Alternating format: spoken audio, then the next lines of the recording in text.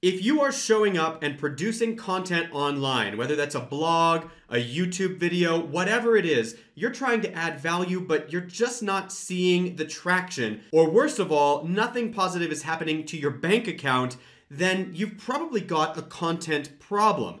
In this video, I'm gonna be breaking down for you my top five reasons why your content is not adding to your bottom line. So if that's of interest, stick around and let's get into it.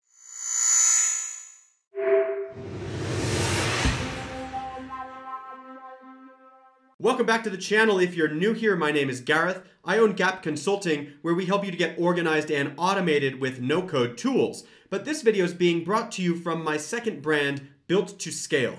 At Built to Scale, we are all about helping you learn how you can use your skills and become a no-code consultant online and I want to help you make your first $1,000 online if you've not done this before, or if you just need a refresher and head back to the basics. Check out my five day crash course. This crash course is going to give you the basic building blocks of getting started as a no code consultant. We're going to help you identify your niche market and learn where you can appeal to them and start getting clients online today.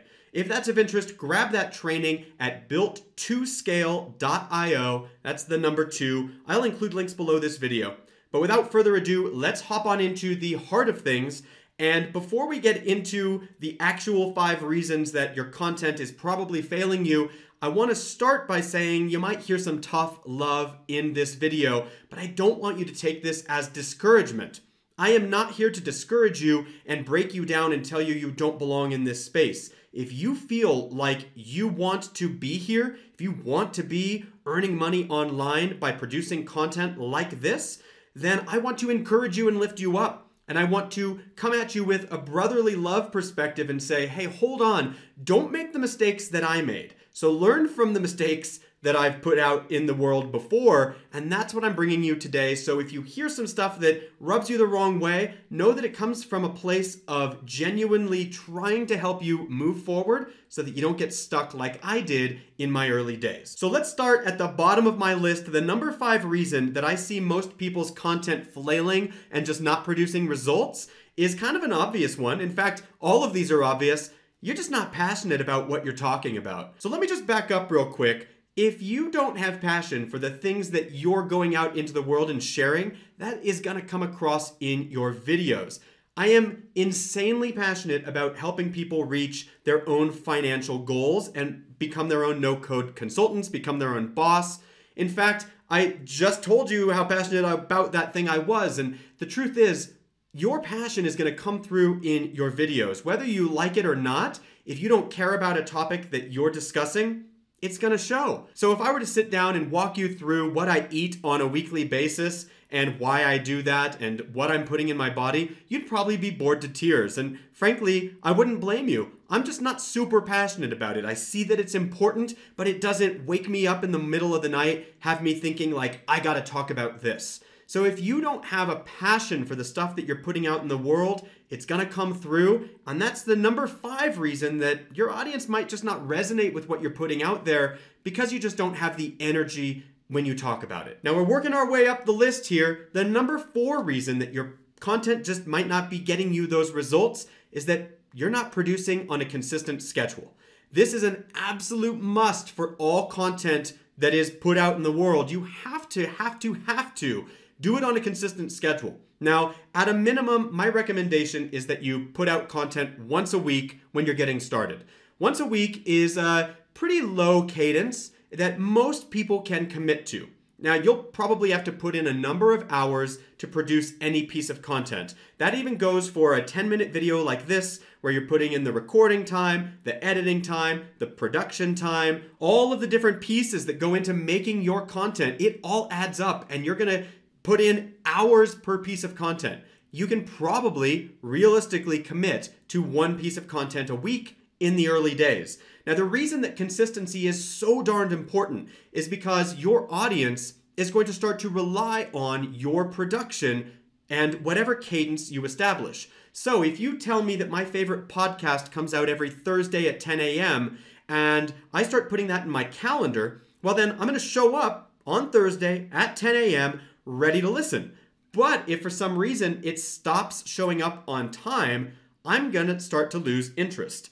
I'm going to forget that, hey, that podcast shows up at 10 a.m., and I'm going to stop showing up every time it pops up in my calendar. So the truth is, you have got to really set your cadence from the beginning and just be consistent about showing up and producing that content.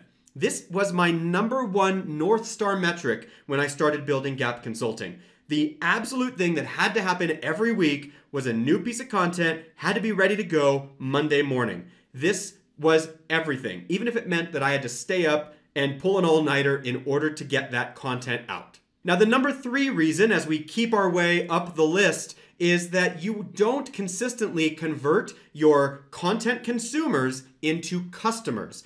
Now, there are a number of different ways that you can convert your viewers, your consumers into customers. But the easiest way is to just put together a really nice call to action so that folks who are consuming your content can take the next step with you. And I'll draw your attention back to the very beginning of this video where I said, hey, if you haven't started this yet, I want to help you make your first thousand bucks online. Sign up at built2scale.io. The whole reason for that is the whole reason for creating this content to begin with. Number one, I want to put good work out into the world and help people move up. But the other thing is, I want you to take the next step with me. I want to get your email address, and in order to make that trade, in order to convince you that it's worth giving, I need to offer you something that you want. And helping you make your first thousand bucks online is really aligned with this video. So make sure that you create a call to action for the pieces of content that you create, but also that call to action has to align with the thing that you're talking about. It wouldn't make sense for me to come on to this video and say, hey, check out my Airtable crash course. I'm not talking about Airtable exclusively in this video, so it doesn't make a ton of sense to bring that particular call to action in. So the big takeaway is to find a way to convert your viewers or your content consumers into paid clients. In order to do that, the easiest way is to build your call to action, which will allow you to provide additional value in exchange for an email address.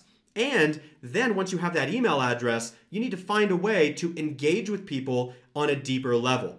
Maybe that is by sending consistent emails about new pieces of content you've created, selling things like your courses, or promoting various services that you might offer. But without a way to convert people onto that email list so that you can take next steps with them in a better setting, then you're never going to see the results that you could see. Now, this is very, very obvious if you look at some of the bigger YouTubers out there that have amassed huge audiences, hundreds of thousands, even millions of people in some cases but they don't sell anything directly to those people. And so they're missing out on a ton of revenue. And as a further point here, it's how we've been able to take this channel, which has barely over 20,000 subscribers, and grow a million dollar a year business from it. It's all from the fact that we are converting viewers into paid customers. Now, working our way up the list, this is very similar to the next one, number two. It's all about the fact that you can't rely on ad revenue alone to grow a business if you are looking at just producing ad revenue, there's a good chance that you're going to just give up before you get anywhere useful. Just as a way of putting some numbers to this so that we can add perspective. This channel, as I said, currently has just over 20,000 subs. I think it's about 23,000. And we do on average between $1,500 and $2,000 a month in YouTube ads. If that was the only thing that was driving my business, I would have given up months and months ago, years ago. I would have never made it to this point. You have got to put something more together than just saying, I'm going to get money off of YouTube ads. Now, the reason for this is if you want to make money off of ads, it's a volume game. And getting new subscribers in the early days of building a channel is incredibly difficult. You have got to start to gain momentum, and the first thousand subscribers to get to your channel feels like this uncontrollable slog that you're just never going to get through. The first thousand, it's just so hard to get every new subscriber because nobody wants to be the person who subscribes to the brand new YouTube channel. So the key takeaway here is if you've got a way to make money in the early days when your content is still getting relatively low traction, that's great. We were making $10,000 a month plus on less than a thousand subscribers. I know you can too you can't count on ad revenue to get you there. You've got to be selling something else. So, again, tying back to our previous point, find a way to convert your viewers into customers, but you got to have something to sell to them other than just ads. Now, this takes us to the last point the number one reason that your channel, your content is not driving the results for you. Now, this is the tough one. Your audience probably doesn't have the money. There's a really good chance that you're creating content for an audience that, while you might be passionate about it, you might even have a service based around it.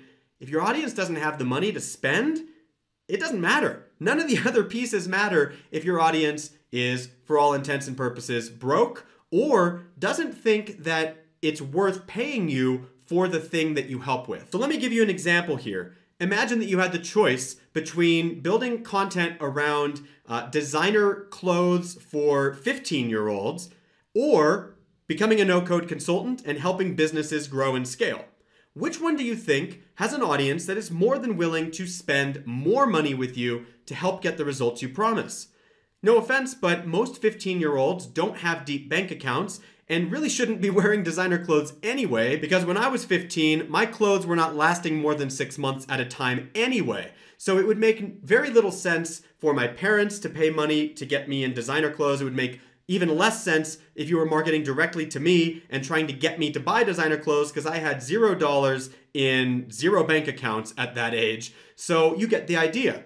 Now, compare that to the business owner who generally makes multiple hundreds of thousands of dollars per year and is more than willing to invest in their business to have it grow and succeed. So, obviously, from these two choices, you're going to make much more money more quickly by appealing to the audience that has the money to pay you. Now, as I said in the beginning, I recognize that this is tough love, and I'm not trying to suggest that you don't belong in this space. If you have identified any of these problems here and said, oh man, that's me, or maybe more than one of them, take note of what those things are. And I'm not saying abandon your work, I'm saying make small tweaks. Because if you feel driven to be in this space, if you feel like you've got what it takes, then the best thing you can do is keep moving forward. And as I said, learn from the mistakes I made so that you don't have to repeat them. I hope you got a ton of value out of this video. If you did, be sure to subscribe to this channel for more videos like this, especially if you're interested in no-code consulting and I look forward to seeing you in the next one. If you're ready to break into no code consulting, I welcome you to join me for my five day challenge available on our website at built2scale.io. You can sign up for that challenge by putting in your name and email address, and once you're all set there, you'll be taken right to the first lesson. This five day challenge is going to help you make your first $1,000 online as a consultant so that you can start helping other people with no code. That's of interest, be sure to swing on by, and I'll see you in the next video.